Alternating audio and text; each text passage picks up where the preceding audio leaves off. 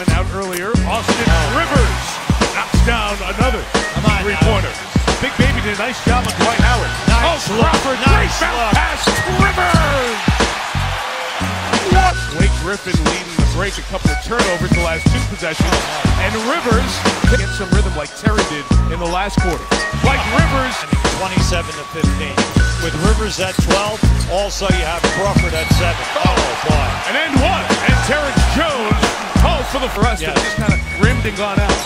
Rivers, I mean Rivers and Redick are rolling the Rockets now. Crawford has it. Rivers runs, bounce pass to Austin, and one.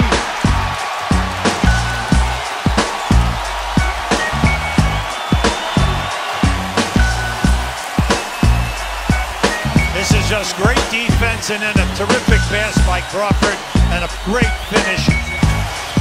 Stirring it up and cooking. You are playing the best basketball of your career. What has gone into that?